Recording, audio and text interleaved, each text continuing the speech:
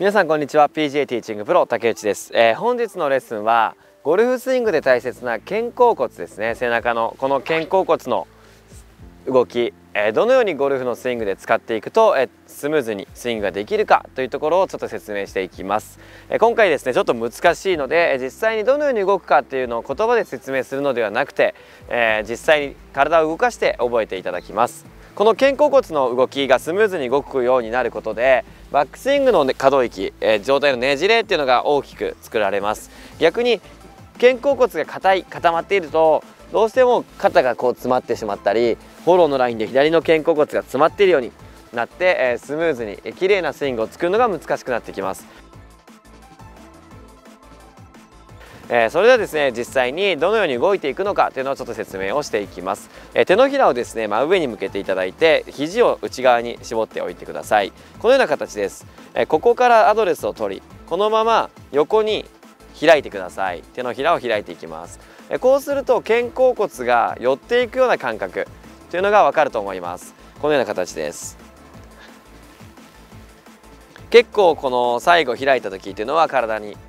肩甲骨がついなというイメージがあるところぐらいまで持っていくように意識をして、まあ、これはストレッチと思いながらちょっと動かしながらやっていただきたいです。こういう形です。え実際に今動かしている動き横から見ていくとこういう形なんですけどもこれは右の肘っていうのはこれトップのラインでの右の肘の角度。と同様に右の肩甲骨の使い方もこれで OK です。逆に左の肘っていうのはここの時にフォローのラインのこの形と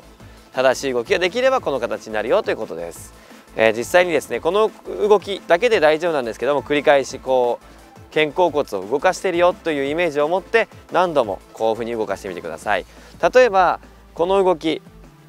肩甲骨が動かない動きっていうのは違う動きをしてしまうとこう肘が抜けてしまう。肘で体を引っ張ろうとするとトップのラインこんな形になってしまいます。これだとスイング軌道ずれてきます。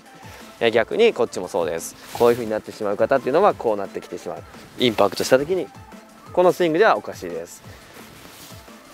こういう状態こういうフォローっていうのが正しいライン、えー、この正しいポジションをチェックしながらこのストレッチをぜひ取り入れてみてください。これが正しいゴルフの肩甲骨の使い方になります、えー、それを踏まえてですねもうワンステップ上げていきます。このクラブを真横にこう持っていただいて脇を締めていきます。このまま横に前傾前傾角30度に対して回転をしていきます。こういう形ですね。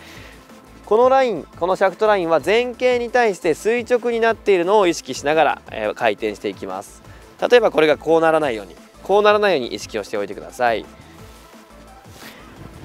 フォローも同様です。えー、この動きを、えー、繰り返し行っていきましょう。実際にですねこの肩甲骨の動きが、えー、動かせるようになってくるとだいぶですねスイングがしやすくなってきます、えー、なのでゴルフのスタート前などですね待ってる間こういう動きを取り入れてみてください、えー、この動きを行って実際にショットをしてみます。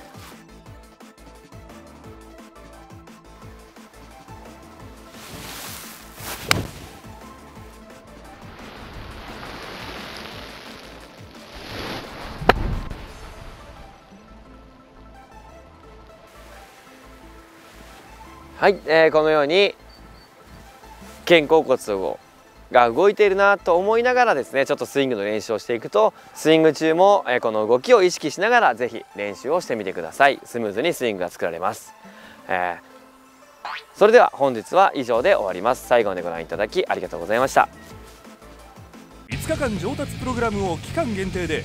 完全無料でプレゼント中。